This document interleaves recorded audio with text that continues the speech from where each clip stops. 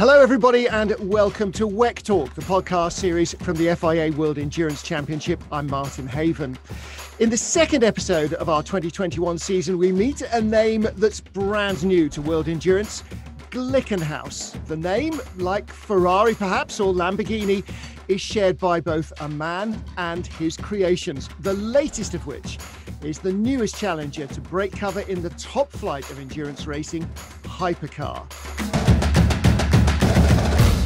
But we're getting a little ahead of ourselves. So let's rewind a little to bring everybody up to speed and say hello, first of all, to the man behind the machines.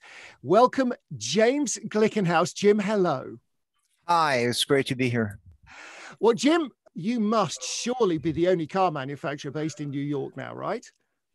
Uh, yes, we are actually the only um, manufacturer in New York. There used to be manufacturers. Uh, Rolls Royce uh, made the uh, Bruce in Brewster, they made a, uh, a Rolls Royce there, and General Motors for many years made uh, minivans actually in Tarrytown.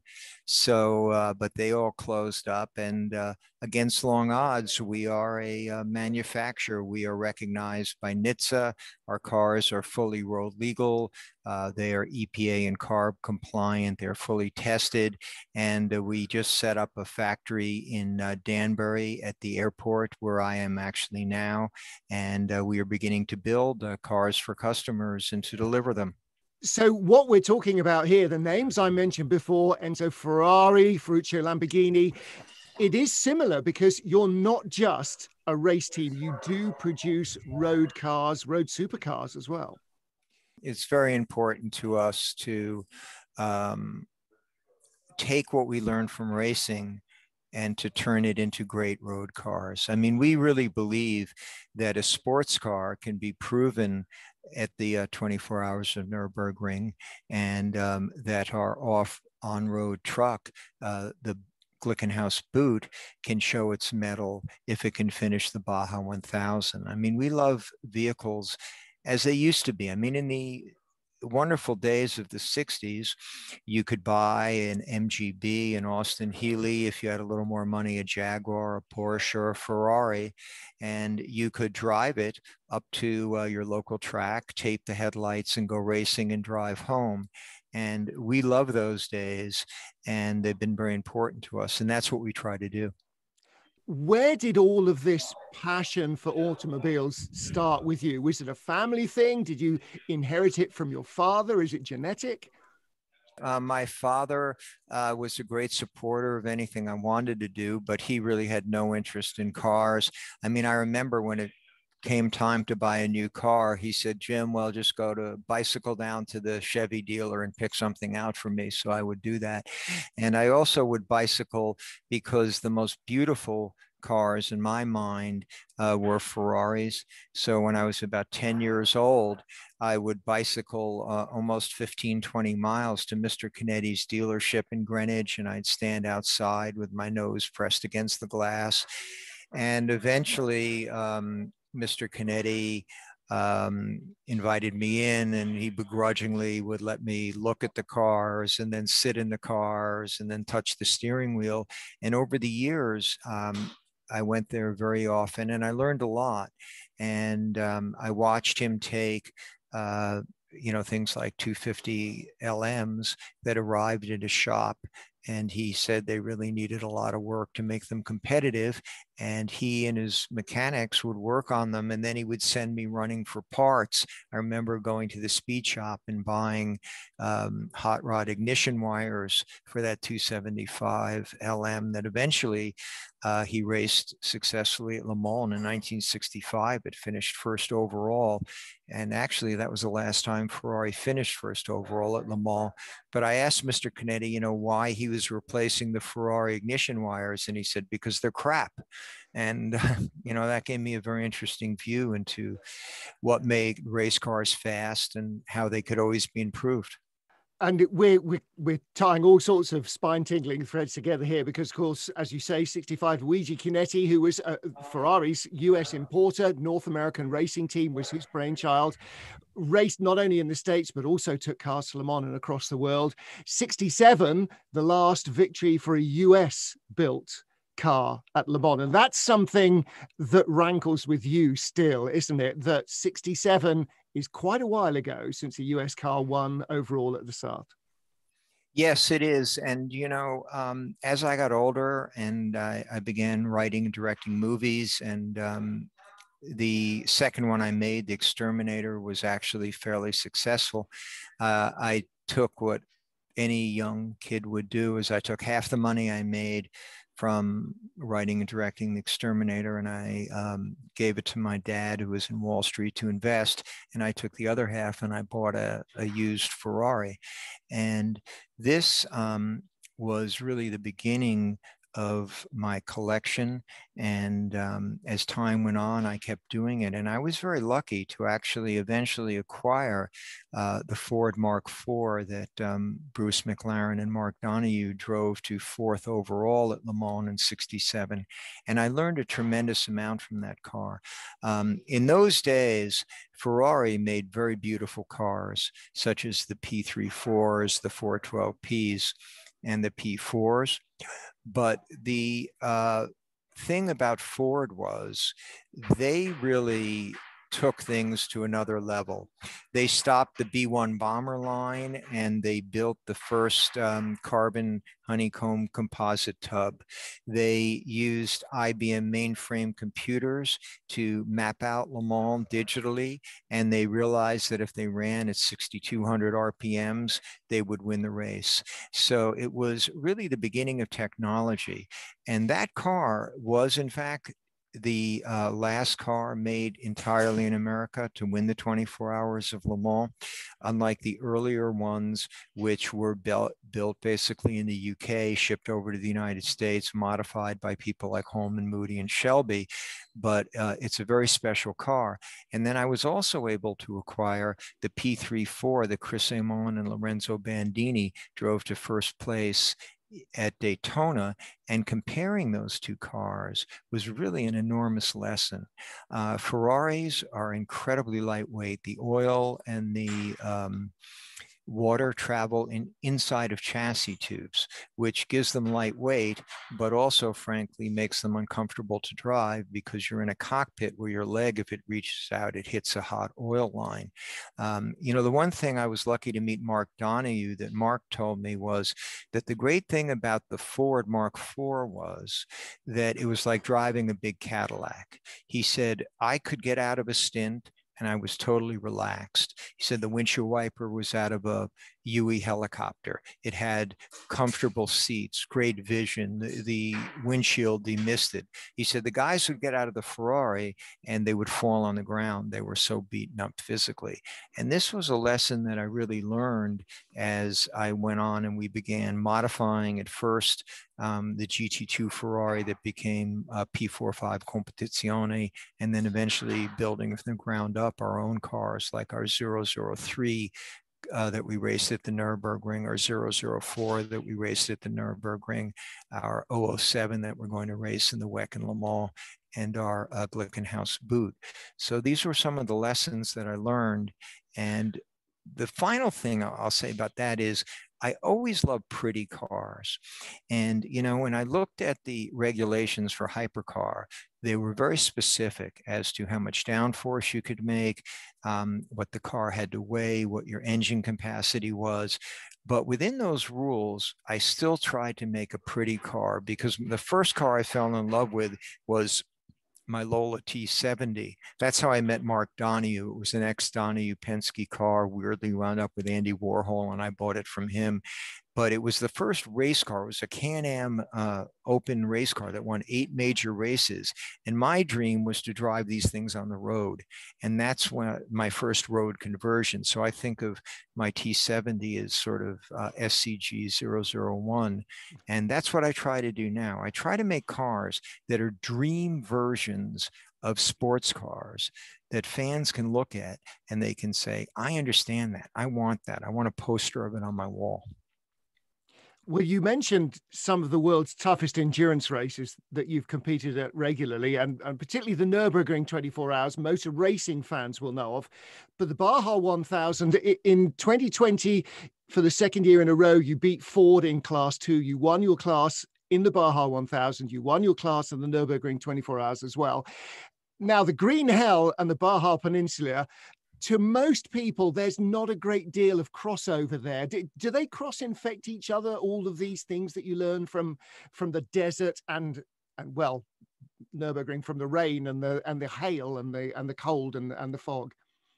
They they absolutely do.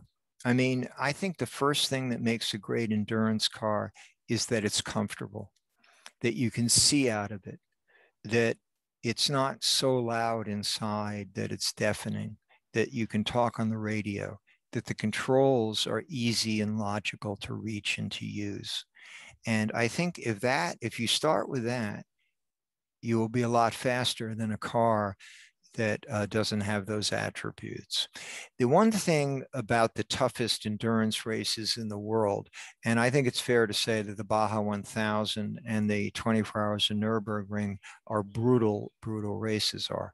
They teach you everything. I mean, in the Nürburgring, you can start off in beautiful sunshine, go around the course, hit pouring rain, and even one year when you were there i think we had hail. Mm-hmm. so you know you you encounter everything. And the other thing is you learn the basic things that make a car work. Can you keep the engine cool can you keep the cockpit cool so that the drivers feel comfortable? Can you keep a steering system that provides the feedback that people need to drive quickly, but that will not deteriorate over 24 brutal hours? Um, is the car easy to work on? Is it modular? I mean, one year when we were winning the race, um, we uh, had an incident where we broke one headlight and it took us 16 minutes in the pit to fix, to change the nose and the headlight. We finished eight minutes behind the lead car. So if that hadn't have happened, we would have won the race by a substantial margin. So next year we redesigned in our 004 where the entire clip both headlights and everything come on and off with two clips and we can now change the entire front nose of the car in 16 seconds so we learn from our mistakes and that's what we do um, but the baja is like really frankly as it was in the 60s. I mean, when you drive down in the Baja, you're driving with the ghosts of people like Steve McQueen and the great people who went down there to try to conquer the peninsula. And it really teaches you a lot. They say you learn nothing from winning and everything from losing. And, and that's so true, isn't it? When you're developing machinery, that every time something trips you up, right, we fix that. Next time that won't get us. No, that's exactly it. And um, I remember that the first year we raced P45 Competizione, which was basically a Ferrari GT2 chassis.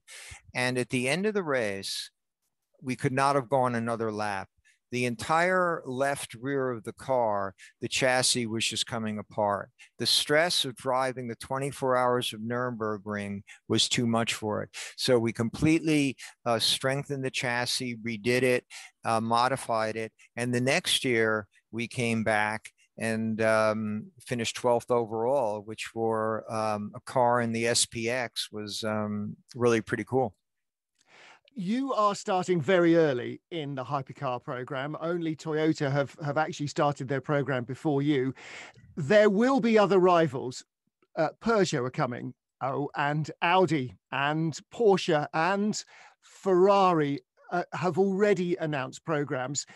Do you think that being early to the game gives you some advantage?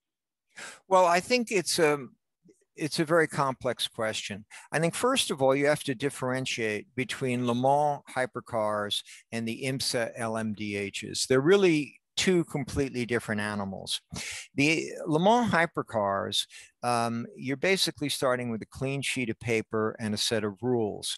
Uh, the LMDHs are, if you will, um, LMP2 uh, 2.0s.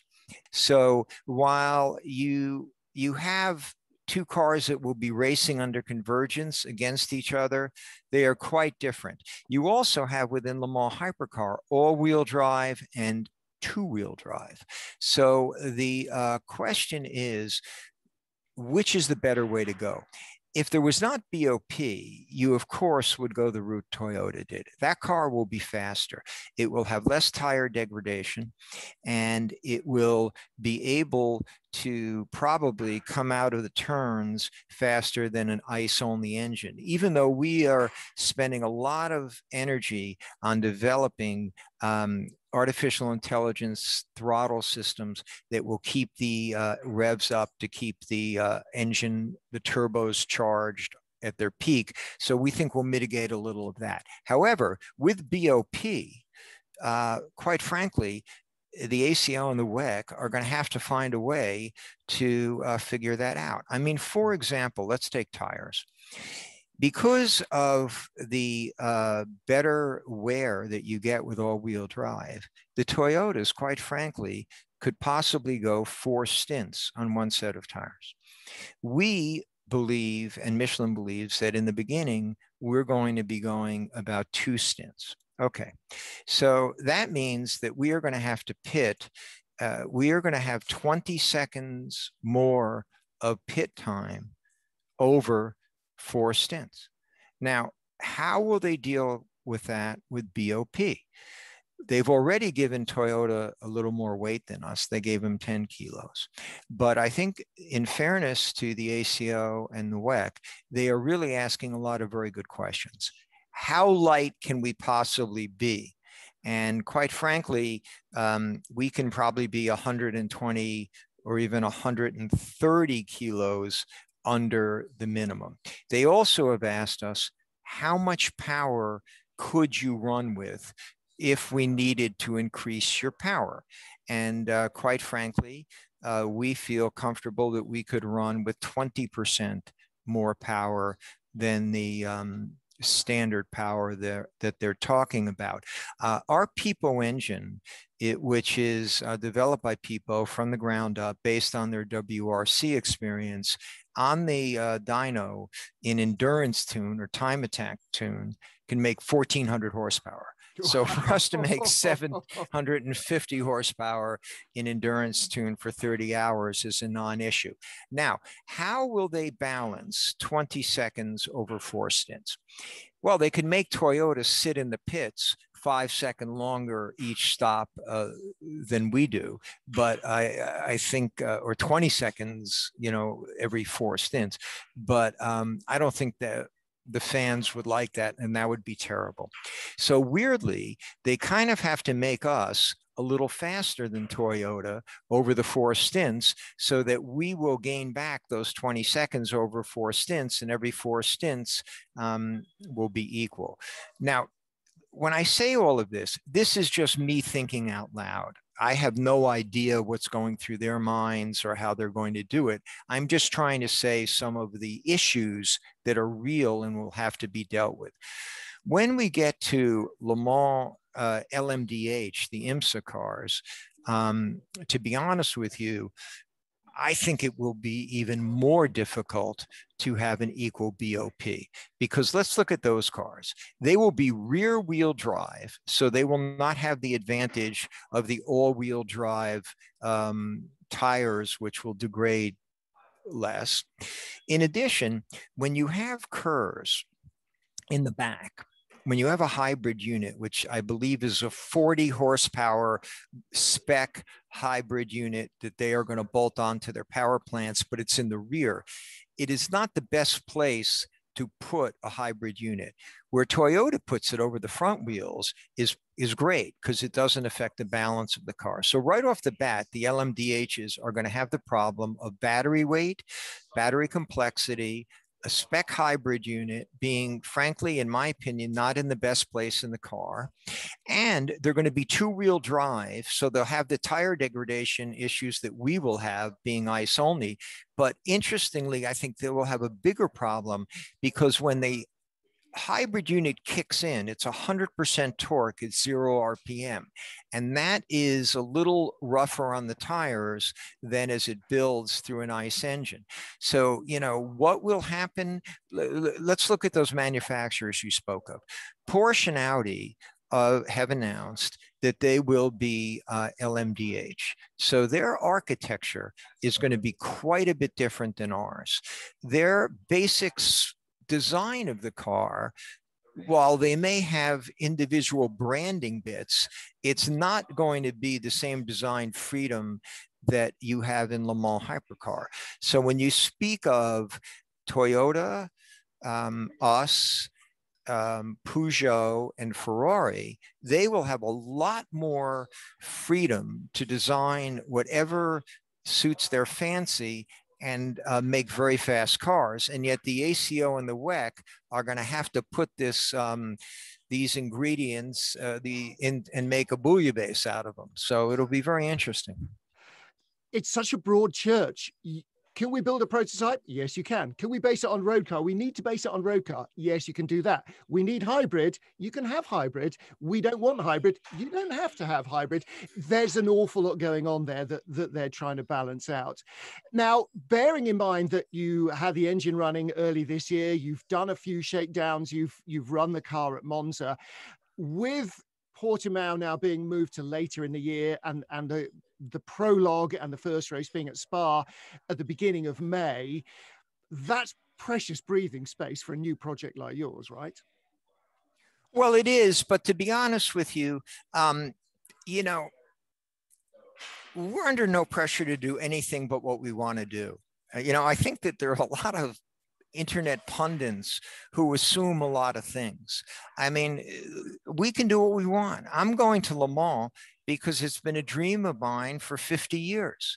And I am going to stand in the rain at night at Le Mans and watch a car with my name on it go down the Mulsanne that's enough for me to be honest with you. I mean I, and i'm going to go when i think i have a car that can really be worthy of going to le mans and is going to really be a cool car and might even have a chance to win if we do fantastic. If we don't who cares? I mean literally to me destinations come and go it's the journey I remember. I mean, I'll never forget the rainy day in Greenwich, Connecticut, when Mr. Chinetti looked at me and said, Kid, you're going to bike home in the rain. You're going to get wet. And I said, Oh, it's okay. And he said, Well, you didn't bring a jacket. And I said, Oh, it's okay. And he reached up on the wall and he took a Ferrari Nart team jacket and he gave it to me and he said, Here, wear this. You know, those are the things I remember. Um, and that's and that's what matters to me. Now, in terms of time, you know, we are completely on track. Um, you guys will officially announce this. So hopefully by the time the podcast comes out, I'm, I'm not tipping anything that's not official, but we, we have passed all of the required crash tests. We um, have tested the car at Monza with Sauber uh, with different modifications to the diffuser and the wings to settle on our final car because as you know you have set limits but you and you can't change during the year. So you can't have a low downforce car for some tracks and a high downforce car for other tracks. So you have to make your decision. And now we know what our vmax is. We know what our lap times are at Monza.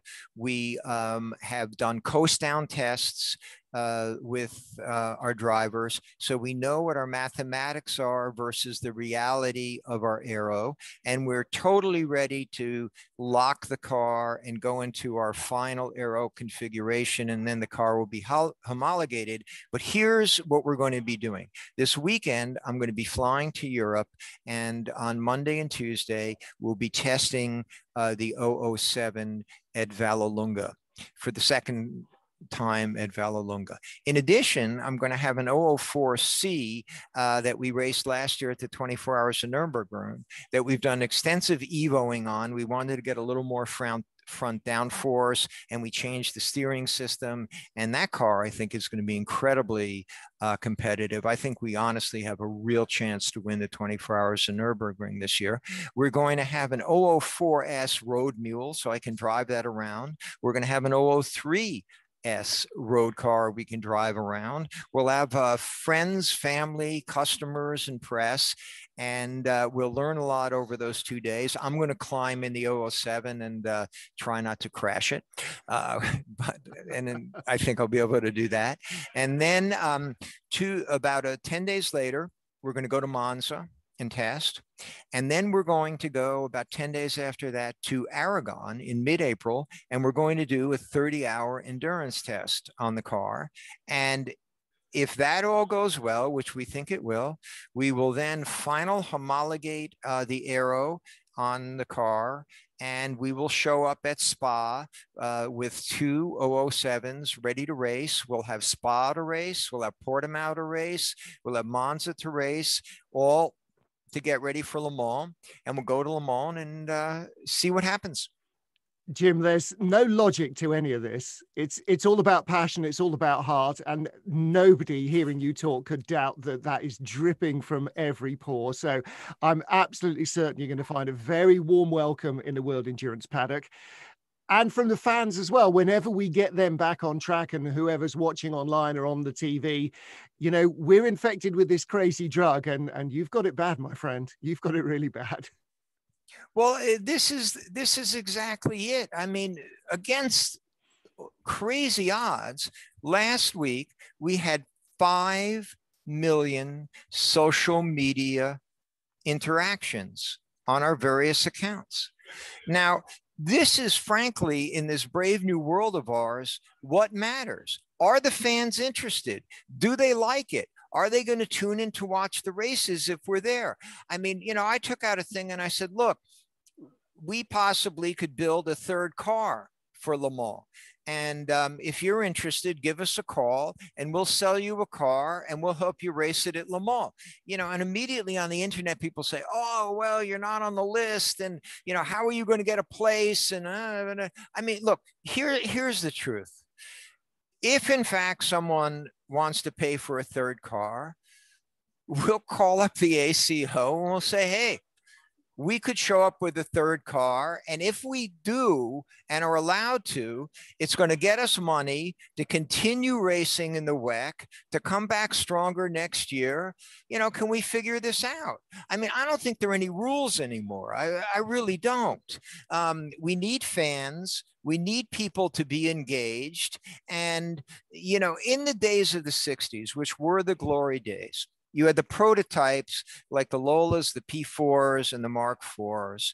You had the um, two liter cars with like the uh, the Ferrari Dinos, the 908 Porsches, 906 Porsches, which were sort of like at half the engine capacity of the prototypes, but they still were very beautiful cars. And then you had the sports cars. I really think that hypercar has the chance to make cool looking, beautiful cars again. I really hope that uh, Porsche and Audi can get their designers to add a certain je ne sais quoi to their LMDHs. I personally think that it would be much more exciting if the Le Mans LMP2s were forced to make themselves visually a little more interesting.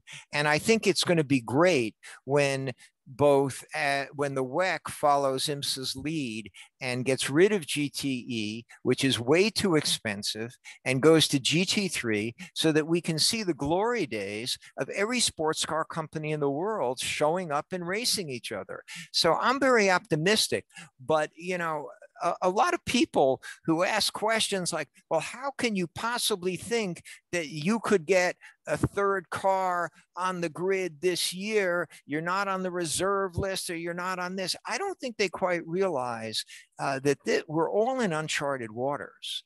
And if we don't work together to find solutions, uh, you know, fans are going to go elsewhere and there won't be ice cars and there won't be racing and uh, the world will be a bit different. But we'll still be here doing our thing, even if we're racing in the parking lot at the Danbury Airport.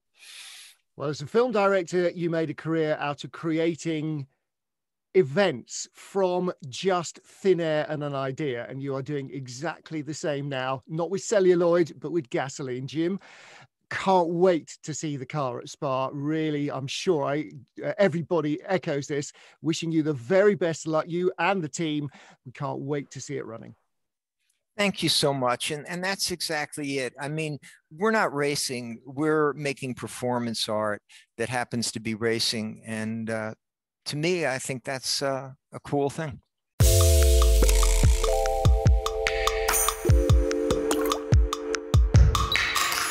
We've heard from the creator of this project about the concept of the car. Now it's time to learn a little bit more about it dynamically. So let's welcome one of the team's drivers, Ryan Briscoe.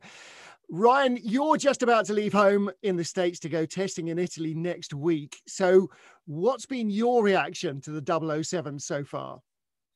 Well, it's been great. I mean, certainly, um, you know, I got, I got to drive it last week at Monza, which was just fantastic. And uh, it was a real eye opener because, you know, I went there not really knowing what to expect, um, just as far as you know where the car performance was going to be, uh, which you know I think is still a bit of a question mark. But just you know, it's it's a brand new program, so I was kind of curious. Okay, what's what's it going to be like? And then the new LMH rules package, like what sort of speed is this going to feel like? And so I had a lot of question marks. But um, you know, we spent two days testing at Monza. The car was great to drive. Uh, you know, I, I think we've we've got quite a lot of work to do still but I was able to get in the car right away and start, you know, driving it like, you know, any other race car and start working on setup. And I think that was one of the best things. It wasn't just brand new car doing out and in laps, trying to work out teething issues. I mean, we were working on performance and uh, it was a really productive test.